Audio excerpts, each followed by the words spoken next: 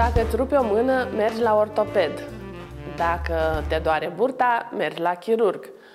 Dacă gândurile nu-ți dau pace sau starea sufletească este apăsătoare, atunci trebuie să mergi la psihiatru. Care este diferența între psihiatru și psihoterapeut sau psiholog? Și cum aleg unul dintre aceștia? Este întotdeauna mai ușor să faci o programare la psiholog. Um, psihologul este un absolvent al uh, facultății de psihologie. Medicul psihiatru este un medic care a terminat facultatea de medicină, după care s-a specializat în cadrul rezidențiatului în acest domeniu, psihiatria. O discuție cu un psihiatru este pur și simplu o discuție, adică povestești despre tine, despre programul tău, spui ceea ce te supără. În urma acestei discuții, psihiatru îți poate recomanda să mergi la terapie, îți poate prescrie un tratament medicamentos sau uh, îți poate spune că ești în regulă. La noi există o reticență în a accesa serviciile psihiatrilor, în a merge la psihiatru. Și asta pentru că se cunoaște foarte puțin despre boala psihică, despre bolnavul psihic. Bolnavul psihic nu este numai acel uh, om pe care îl vedem cu toții în uh, parcuri dormind pe o bancă, nu este numai cel care vorbește singur pe străzi. Acestea sunt cazurile, să le spunem, limită, care trebuie uh, internate și tratate. Tot la psihiatrie se adresează și oamenii care suferă de tristețe, depresie, de anxietate, de gânduri care tot se repetă și nu îi lasă să își uh, desfășoare activitatea, acea zisă tulburare obsesiv-compulsivă.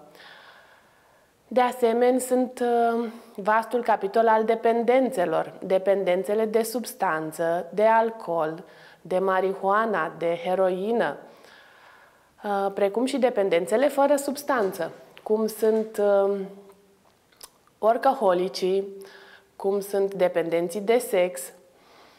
Toate aceste probleme sunt probleme psihiatrice la care există un tratament. Consultul psihiatric este o discuție cu un profesionist în uh, care tu te prezinți pe tine și problemele pe care le ai.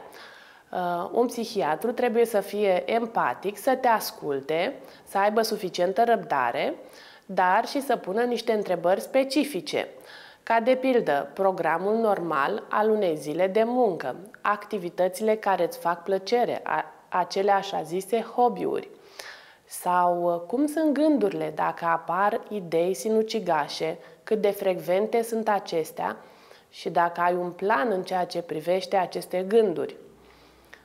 Uh, discuția la un psihiatru poate fi o descoperire de sine poate fi ceva interesant și nu doar această discuție. Suntem în plină pandemie. Uh, numărul de cazuri este în continuă creștere. Ca psihiatru mă aștept să crească decompensările anxioase, adică uh, neliniștea oamenilor este din ce în ce mai mare și apar uh, aceste motive pentru atacurile de panică.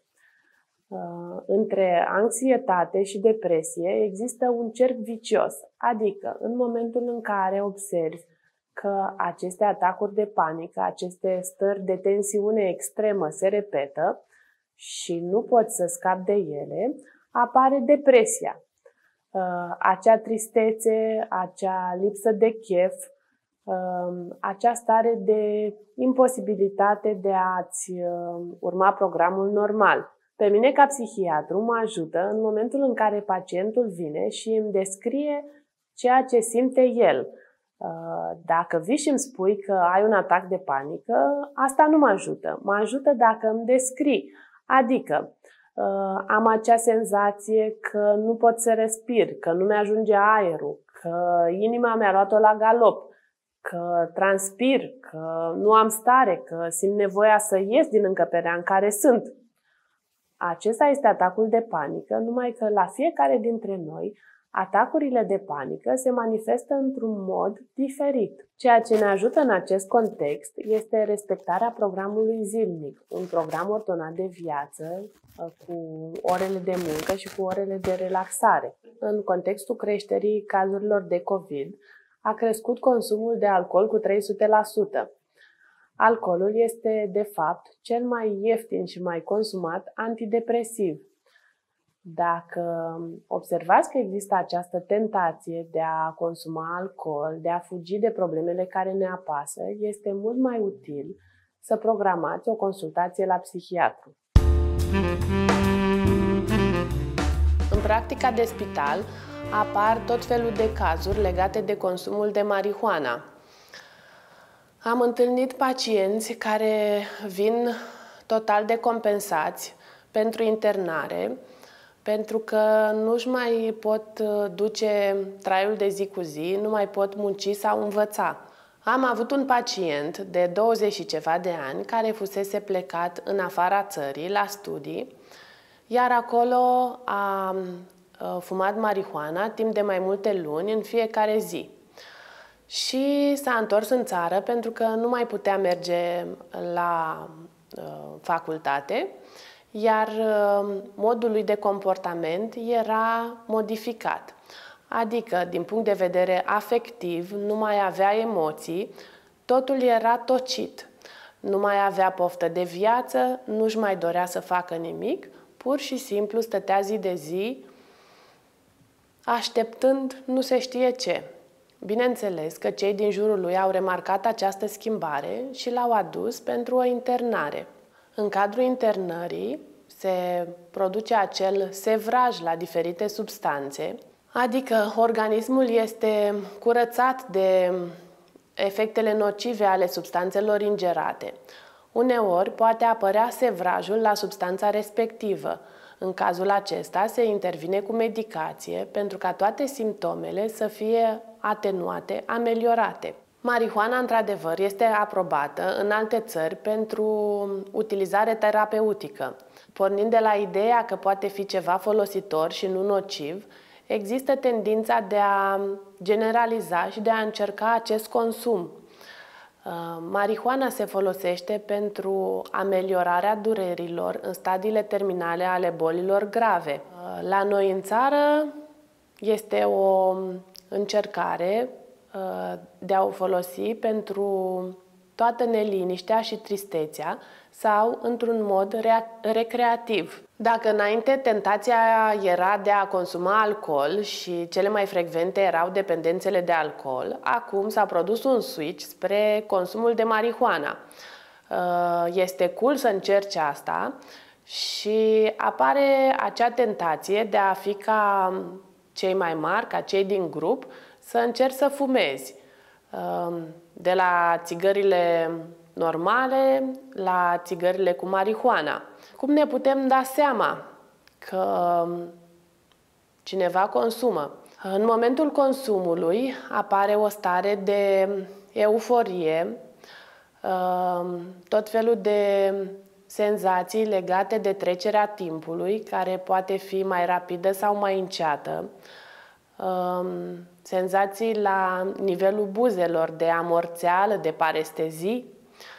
În general, atunci când fumezi marihuana, starea sufletească se accentuează ori în sus, spre euforie, ori spre tristețe. Adică dacă ești trist și fumezi marihuana, poți ajunge mult mai adânc în acea tristețe. Marihuana este considerată poarta de intrare pentru că prima dată încerci cu asta, după care încerci să combini pentru potențarea efectelor cu consumul de alcool. alcool. Um, tentația asta de a încerca tot felul de senzații noi, de nou, de extraordinar, se continuă și începi să cauți, să iei o pastilă de ecstasy, sau um, să fumeze așa zisele legale, um, etnobotanice. De ce un tânăr de 15 ani ar încerca diverse substanțe? Din uh, teribilism, din uh, lipsa activităților, a preocupărilor, din lipsa activităților sportive, din lipsa îndrumării parentale, a interacțiunii cu cei din jur. Tocmai în această perioadă în care uh, s-au redeschis școlile și să reiasă socializarea, uh, în care ne întâlnim din nou și toate aceste activități devin posibile. Eu cred că părinții trebuie să stabilească niște limite ferme, să le definească și să încerce tot timpul să le respecte. Din păcate, de la marihuana, care este considerată uh, o dependență ușoară, se poate ajunge la dependențe grele, cum ar fi cocaina sau heroina. Cocaina este folosită ca un stimulent uh, care te ajută să muncești foarte mult, ore și ore în șir, să petreci de asemenea foarte mult. În momentul în care acest consum de cocaină devine frecvent și accentuat, în momentul în care această stimulare continuă se tot repetă, consumatorii o combină cu heroină. Adică heroina este un drog care contrabalansează efectele stimulatoare ale cocainei.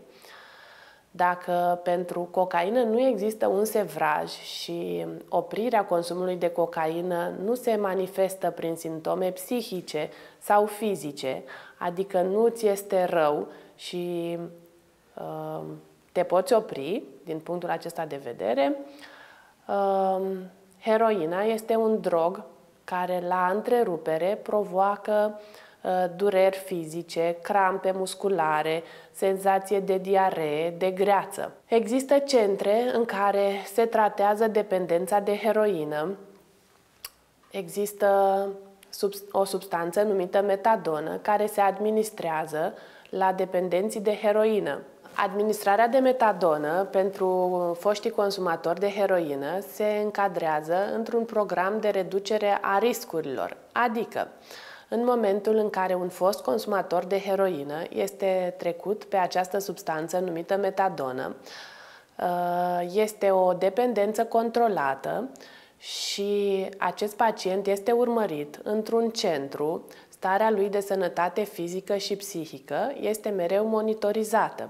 Prin trasarea limitelor parentale ferme, prin interzicerea fumatului, Uh, de la care se ajunge la fumatul de marihuana și la toate celelalte, se stopează această progresie spre dependențele grave. Trebuie să subliniez că cel mai ușor este să punem limite, să încercăm să le explicăm uh, copiilor noștri că este nociv fumatul și că ar fi de preferat să nu înceapă.